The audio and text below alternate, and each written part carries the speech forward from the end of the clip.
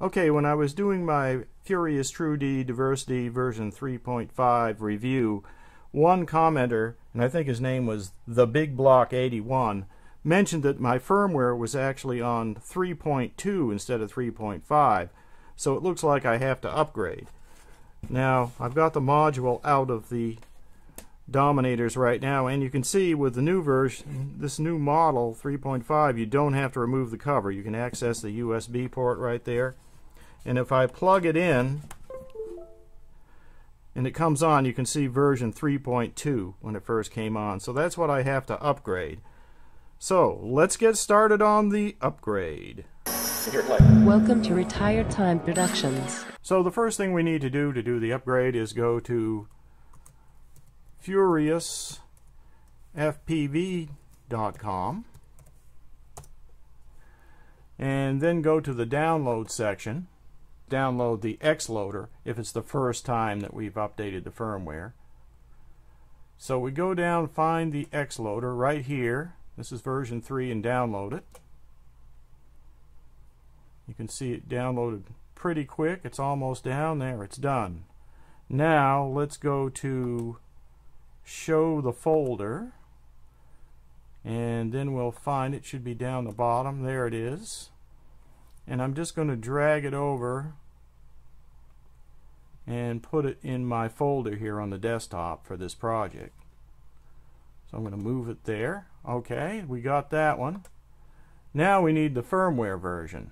So let's scroll down, see if we can find the firmware. There's version 3, and we want to get the version 3.5, which is right here at the top, and download that the same way.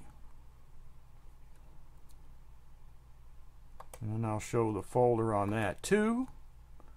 There it is. It's another RAR file, so just copy that to my folder over here. Actually, I'm going to move it. Alright, so I got them both in the folder. Okay, so now we can put the browser away. Let's open the folder. Okay, so these are the two files that I got right here. I'm going to right click and I'm just going to go ahead and, and uh, extract here. I'm going to use the Windows internal extraction tool. Okay, extracting. It just came in there. It extracted. It's Xloader right there. Okay, so that means we can get rid of this file because I don't need it anymore. Okay, now let's extract the firmware the same way using the Windows internal extraction tool. Extract here. Okay, you can see that the firmware came in right there. So now that we can we've done that, we can get rid of the RAR file. So now we've got the Xloader, which is in here, and there it is right there. So let's go ahead and launch Xloader. Okay, let's go ahead and plug the TrueD module into the computer right here. And that's coming on. Okay, so first let's find our firmware file. So I'm going to click here and we know it's on the desktop and it's in the folder right here and there's the firmware. So let's load that. We'll just go open. So that's loaded in. Then we have to select the right board right here, which is this one.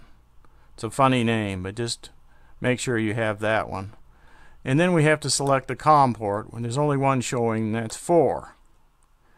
Okay, now we're going to get ready to upload the firmware to the Furious module. Okay, so let's go ahead and upload the firmware. I'm going to click upload and you can see what the screen is doing right here. Okay, you can see on the screen that we have 30,334 bytes uploaded. So it's done. But the Furious module is now telling me that I have to calibrate, which happens after you upgrade the firmware. Okay, so I'm going to go ahead and unplug the cable. Alright, now let's just plug the unit back into the USB port and see what happens. So it comes up and you can see I have 3.5 firmware, but I do need to calibrate it. So that means I need to put a little uh, transmitter a certain distance away. Let's just go through the calibration and see what it looks like. Okay, it says press the center button. Okay, now we have to, it says attention, remove antennas, which we have, turn on the VTX, move VTX based on milliwatts. So I hit it again, it says if it's 200 milliwatts, put it 8 feet away. So I'm going to go ahead and do that. So I've turned on my video transmitter and it's about 200 milliwatts, so I put it 8 feet away and now I'm going to press the center button again. Alright, we're ready. We'll go. Okay, so now it's doing the calibration. So this calibration is something you only have to do usually when you change the firmware. Okay, now it's done. So let's scroll down to save and exit and press the middle button. And then we can exit. We're done. Okay, so that's it. We have completed. Of course, it's going to say low signal because we had to take the antennas off naturally. Okay, so that's it. Thanks for watching. If you have any questions, you can leave them under the video. And we'll see you next time.